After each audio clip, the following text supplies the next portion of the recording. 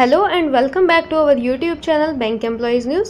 Friends, आज हम आपके साथ सभी रिटायरीज, फेडरेशंस और ऑर्गेनाइजेशंस की जो ज्वाइंट मीटिंग हुई थी और उसके बाद उन्होंने एक सर्कुलर इशू किया है, उसके बारे में डिस्कशन करना चाहते हैं। Coordination of bank pensioners and retirees organisation ने department of financial service, ministry of finance के इंचार्ज श्री देवाशीष पांडा को एक लेटर लिखा है, जिसमें कि उन्होंने रिटायरीज और पेंशनर्स के पेंडिंग इश्यूज़ के बारे में डिस्कशन की है। ये लेटर एसबीआई के pensioners association all India bank pensioners and retirees confederation R B O N A C A I R B E और F O R B E ने लिखा है।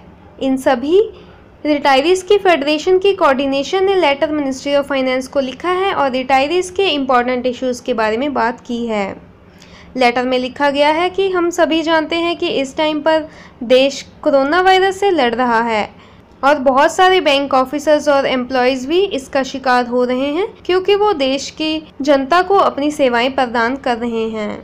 इसके साथ साथ सभी बैंक एम्प्लॉयज़ और रिटायरीज ने पीएम केयर्स फंड और सीएम रिलीफ फंड में भी अपना योगदान दिया है। उसके बारे में भी इस लेटर में लिखा गया है। और इसके बाद उन्होंने कहा है कि बैंक पेंशनर्स और रिटायरीज के कुछ इंपॉर्टेंट इश्यूज़ हैं, जो कि अभी तक रिजॉल्व नहीं हो पा रहे हैं। सबसे पहले फैमिली पेंशन की बात की गई है। कि बैंक्स में फैमिली पेंशन स्कीम तो इंट्रोड्यूस कर दी गई थी, लेकिन फैमिली पेंशन बहुत ही कम है और इसकी इम्प्रूवमेंट होनी चाहिए, जैसे कि सेंट्रल गवर्नमेंट और आरबीआई के एम्प्लॉयज़ और पेंशनर्स के लिए है। बैंक की जो फैमिली पेंशन है, वो चार हज़ार से लेकर चौदह हज़ार के बीच में है और ज़्यादातर पेंशनर्स को लास्ट बेसिक पे का पंद्रह परसेंट ही पेंशन के रूप में मिलता है।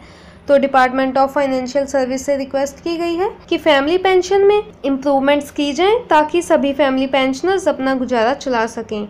नेक्स्ट इंपॉर्टेंट पॉइंट है 100 percent D A neutralisation to pre November 2002 retirees नवंबर 2002 से पहले रिटायर हुए रिटायरीज के लिए डीए की 100 परसेंट न्यूट्रलाइजेशन होनी चाहिए। और हॉनेबल सुप्रीम कोर्ट ने भी इसके बारे में अपनी जजमेंट दे दी थी कि डीए न्यूट्रलाइज होना चाहिए। लेकिन अभी तक बैंक मैनेजमेंट्स की तरफ़ से इसके लिए कोई भी कदम नहीं उठाया गया है। और हम चाहते हैं कि फाइनेंस मिनिस्ट्री इसको भी रिजॉल्व करे। नेक्स्ट पॉइंट है अपडेशन ऑफ़ पेंशन। बहुत सारी कोर्ट की जजमेंट्स और रेगुलेशंस भी आ गई हैं। सुप्रीम कोर्ट ने भी पे रिविजन और पेंशन रिवीजन को इनसेपरेबल बताया है।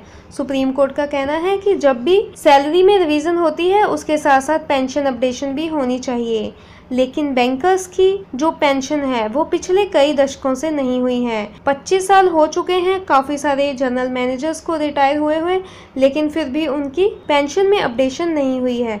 नेक्स्ट पॉइंट है IBS medical insurance scheme for bank retirees सभी वर्किंग एम्प्लॉयज़ को आईबीए की तरफ़ से एक मेडिकल इंश्योरेंस स्कीम प्रोवाइड की गई है। जिसका कि प्रीमियम बैंक मैनेजमेंट्स की तरफ़ से पे किया जाता है। लेकिन रिटायरीज़ के लिए मेडिकल इंश्योरेंस स्कीम बैंक की तरफ़ से प्रोवाइड नहीं की गई।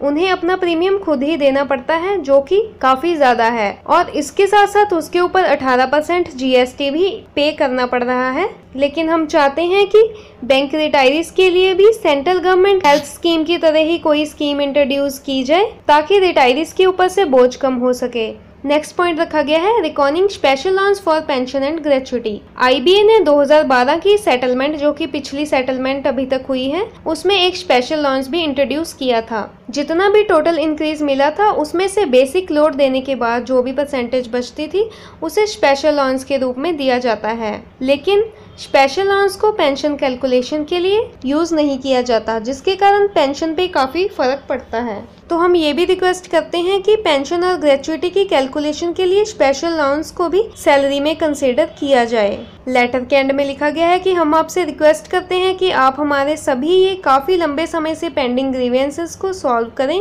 तो फ्रेंड्स आज के वीडियो में बस इतना ही। ऐसे ही अपडेट्स लेकर हम आपके साथ मिलते रहेंगे। धन्यवाद।